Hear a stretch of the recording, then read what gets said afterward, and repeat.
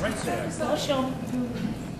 Usually, usually when we think of pollution, we think, oh, it's so bad. What can we do to stop it? But then the next minute, we're talking and we're driving in our car. What's that doing to stuff?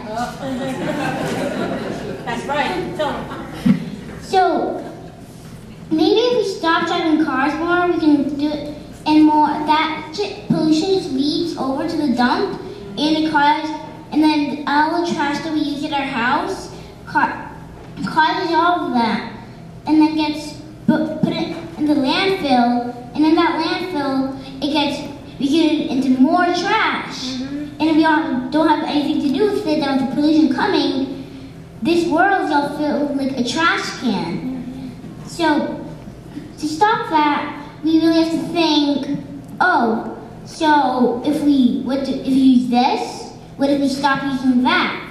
Will it work? Oh, or if you have to do it over and over and over again? Yes. That's right, girl. Boy?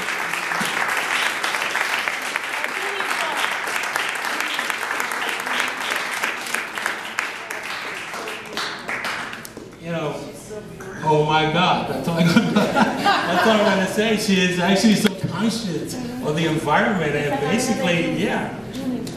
This, this is unbelievable. Thank you so much.